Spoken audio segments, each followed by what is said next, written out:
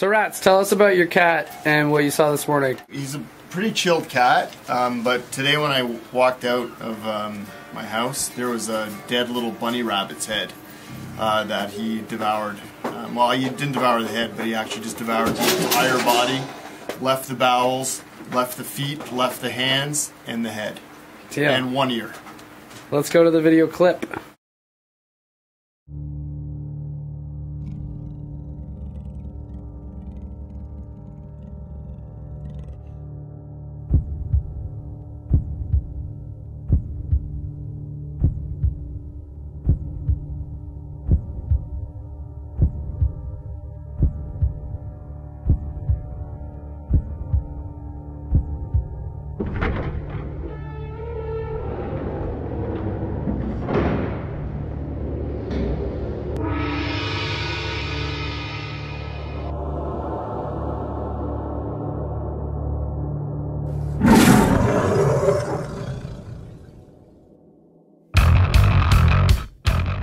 Hey, so we're gonna organize our lives financially, and this is our lovely banking officer, Hi there. Judith. She's gonna help us get our I lives. am. I'll try Yeah. my best. You're richer than you think at Scotiabank. Okay, so I was feeling a little bad because uh, I haven't finished, you know, writing all the songs yet, and uh, it's kind of like time's getting on. But then the cookie uh, I got with my dinner told me it's better to get something done late than never. You know what? I don't feel so bad anymore. This cookie made me feel great. So we have all our BPMs set for the record. Everyone's done their demo tracks.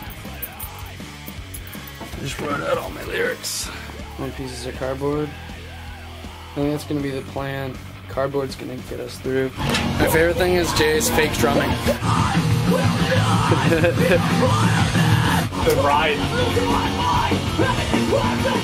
Mike, you feeling the competition? Got nothing in you, baby. Ready for this one?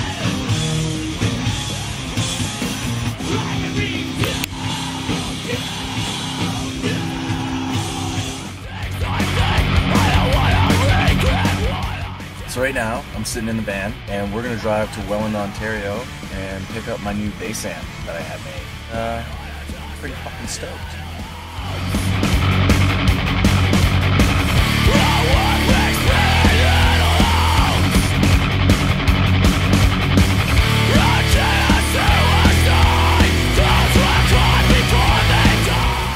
These are the guts of my new bass head.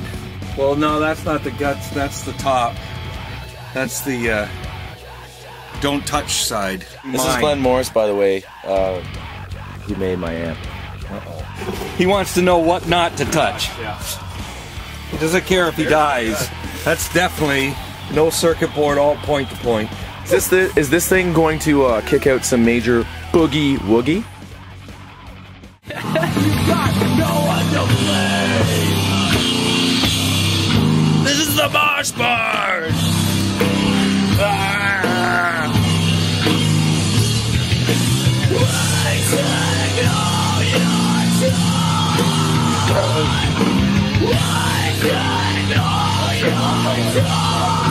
Man,